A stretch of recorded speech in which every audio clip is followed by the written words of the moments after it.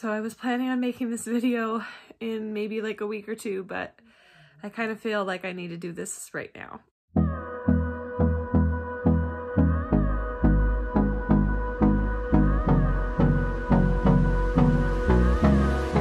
Hey guys, welcome back to my channel. If you are new here, my name is Emily. Welcome to Limabean Living. This is my motherhood channel where I take care of all things mom.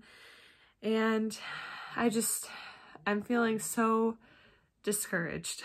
I like just got the results back from my sizing ultrasound for Jack and at 36 weeks he's measuring in the greater than 97th percentile which means that like if you had 100 babies um, in a room he'd be bigger than at least 97% or 97 of them um, and at my 20 week like ultrasound he was in the 67th percentile pretty much like an average size baby and i'm feeling just very discouraged because you know, he's measuring really big. I know that things can be off or whatever, but I mean, even in the ultrasound, he looks like he's got some chunky cheeks and like all of that. And normally, if this was my first pregnancy, I probably would have like written it off because all of the babies in my family, like my siblings and I, were all probably an average of nine pounds. Some of us, like my youngest brother was like 10 pounds. Like we're all just like big babies just in general, just genetically.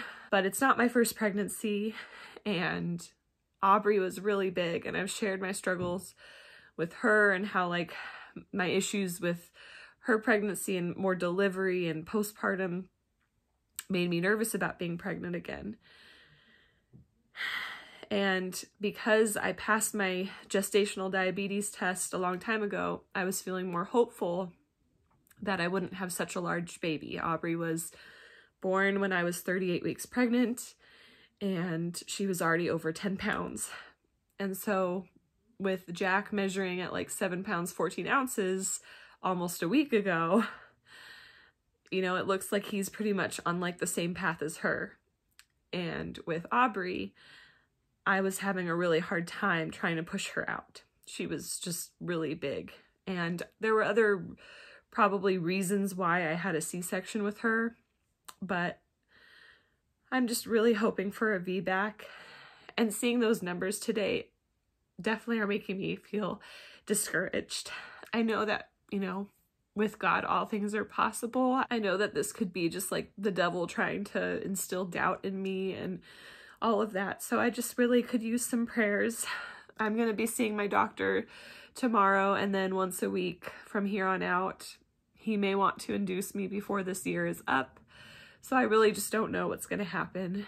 And I'm just, I'd really love to have a VBAC and have an easier recovery and the hope of, you know, having more children in the future. A VBAC is obviously a better option for me. So I'd appreciate any and all prayers regarding that. As far as our house goes, uh, we've been kind of checking in on it. We have gotten electrical, but like we've noticed some like issues in the past, like when we've gone. So like there was supposed to be a hose bib in like a certain part of the house and it was actually missing or it was in the wrong location.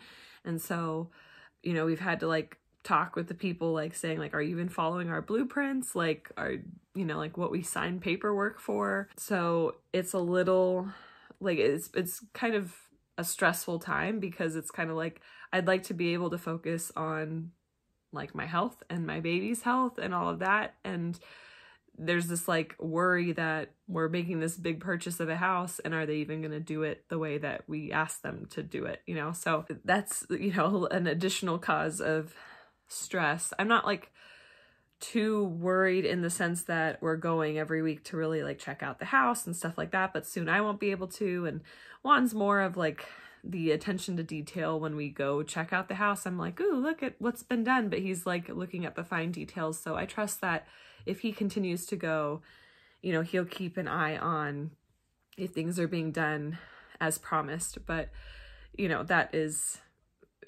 I wish it wasn't an issue in the first place. But those are just kind of like the two big updates that I, I just needed to get out and get prayers for like as soon as possible.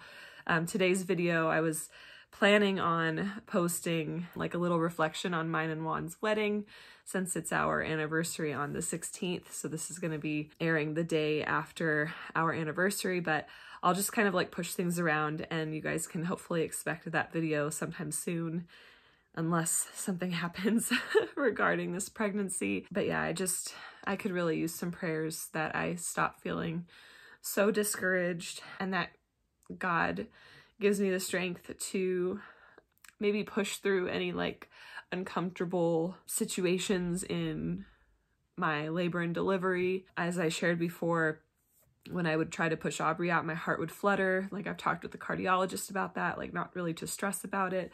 So if I experience that again, like kind of just push through. Yeah, so just, I mean, I don't even know like the specific things to pray for other than I'd really love for a VBAC because I'd like to have more children and it's not recommended to have more than like two, maybe three C-sections. And it, it would be great to have an easier recovery as well. So just needed to get this out there for the prayers and to let you guys know what's going on. I guess the the last thing that's coming to mind before I end this video is just I've been feeling like ultra depressed and down and emotional lately, so it's like not even helping in these situations. And as much as I know that like you guys like care and I have family that's close and cares about me, I just feel so alone. So it means a lot that you guys watch and support and pray for me.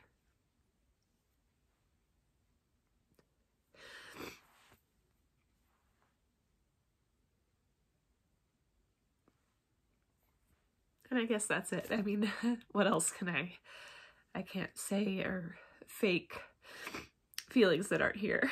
But hopefully my next video will be a more positive one. Hopefully my next update video will be more positive. And whenever Jack comes here, obviously, you know, as long as him and I are both healthy, that is more important than me having a VBAC. But healthy is inclusive of mental health too, and I know that it's been a struggle. So until next time, thank you for watching and know that you are loved and made for greatness. Woohoo!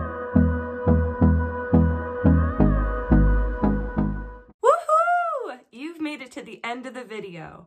If you didn't know already, every Monday and Friday, you can find motherhood and lifestyle content on this channel.